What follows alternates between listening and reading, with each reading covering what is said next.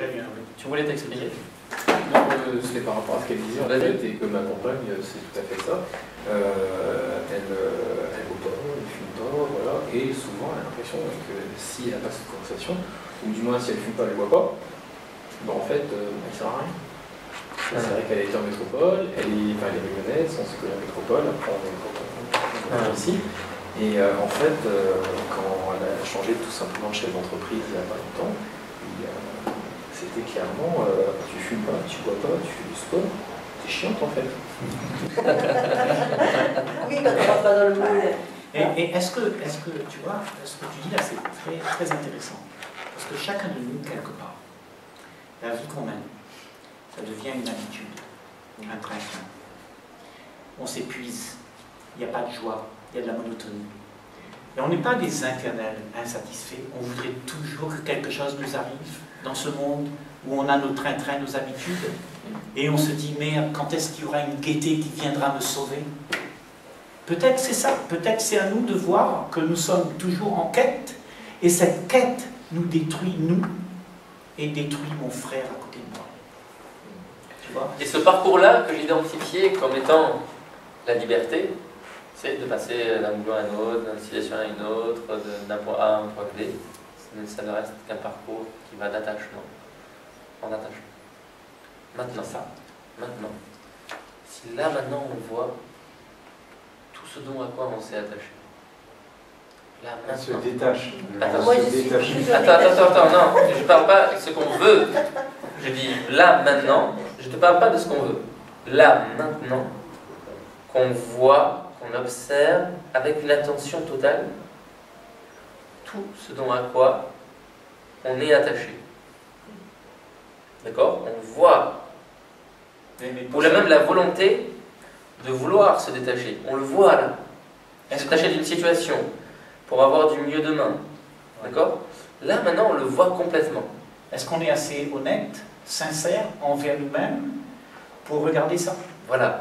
Est-ce que vraiment. C'est important. Ou alors est-ce qu'on est encore en train de se mentir et de se créer des images de mieux demain? Et si l'image vient, est-ce qu'on peut le voir là, maintenant? Je ne parle pas de le vouloir pour demain quand tu rentreras chez toi. hein. Là, maintenant. Qu'est-ce que j'observe? Ça veut dire que tu n'observes plus rien parce que la pensée, elle s'arrête. Voilà. Il n'y a plus rien. Et quand tu n'as plus rien, il y a la paix. Et dans cette paix, il y a ton intelligence. L'intelligence qui te donne l'action d'être à ce moment-là.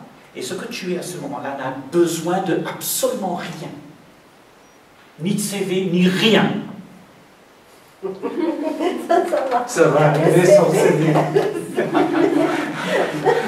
Je pense que on est tous, on est tous en quête. Donc tu veux dire par là que l'action qui émane de cette intelligence est sans intentionnalité, sans volonté, Elle n'a besoin de rien. elle n'a besoin de rien. Elle n'a besoin de rien, mais elle agit. Elle agit. Elle agit sans le, sans La- La récompense attendue. la récompense attendue, mais sans la, la demande du centre qui est intéressé. Hmm. Celui qui est intéressé, c'est l'ego. Et dit, moi je veux, j'ai peur, j'ai besoin, tout ça. Mais si cet intérêt n'est plus là, et que c'est cette action qui fait ça, ça prend toute une autre tournure. Parce qu'il n'y a plus d'attente. Il n'y a plus besoin de rien. Et donc peut-être toute action qui sera faite sera une action qu'on ne connaît peut-être pas la nature de l'action. Même si c'est de déposer un CV. On ne connaît pas cette nature-là. Tu parles de la nature de l'action, tu parles pas de l'o- de l'objet de l'action.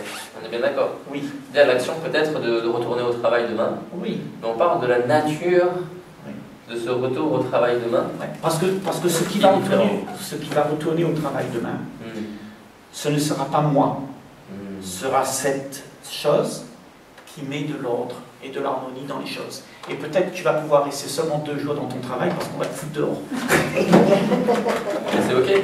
Alors Roger, je, je voudrais, bon, vous, vous n'êtes pas trop dans le- la conceptualisation. hein. Ouais, moi je le suis, parce que c'est- c'était mon job. Je suis théoricien, chercheur. C'est ton identité. Et donc, euh, ce que tu dis, les Chinois disent le Tao. Yes. Quand, quand on s'est libéré, il y, a, il y a la beauté intérieure, il y a l'intelligence intérieure qui, qui- qui sort. Et, et- et l'autre le, perçoit. Alors, S'il est névrosé, etc., c'est pas la peine de Il le perçoit ou pas avec un patron névrosé. hein. Et il le perçoit ou pas C'est vous qui allez dire non, moi j'ai pas envie de votre job, vous, vous, vous me recrutez, mais moi, mais moi, j'accepte pas le job. Et, et les Indiens, ils ont, ils ont, les hindous, ils ont le l'atman. C'est pareil, c'est la voix.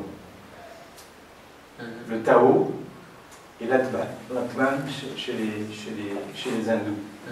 C'est- C'est-à-dire la voix. Est-ce que tu peux bien comprendre que ce que tu dis là, Ouais. le Tao, la- l'Atman, euh, que sais-je encore, il y en a des milliers, hein, que nous ici là, euh, c'est pas quelque chose qui va rentrer dans, en ligne de compte parce que nous sommes, nous voulons nous-mêmes être cette chose.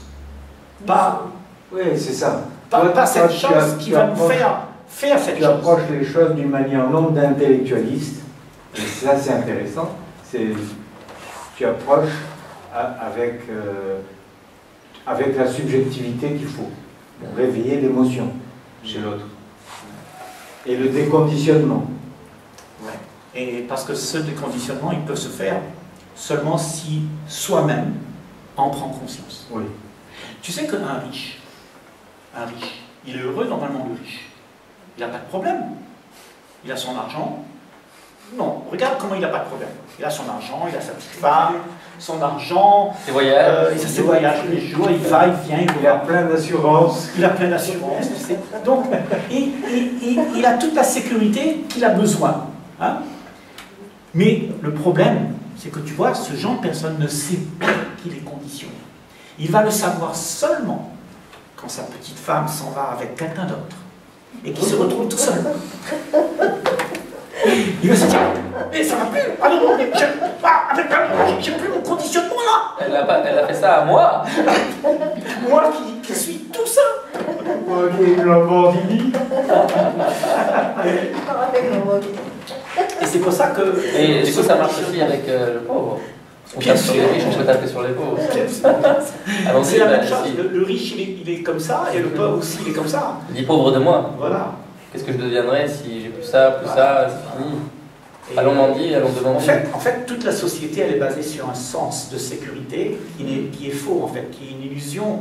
Et on, du pauvre, au- du plus petit au plus grand, du sel au poivre, de tout, on, on marche là-dessus, on a une sécurité et on veut la garder, peu importe qu'est-ce qu'elle est. Si j'ai une petite 4L ou bien une Lamborghini, veux ma sécurité, je peux me déplacer, merde, c'est bien. Mais maintenant, de, de se dire que tout ça, si je m'attache à ça, eh bien, je suis plus vrai. Je suis pris, je suis dépendant de ça. Et c'est cette dépendance qui fait de nous des êtres humains qui vivons dans notre vie médiocre. On n'a pas le sens de la vie. On vit, mais on ne vit pas vraiment.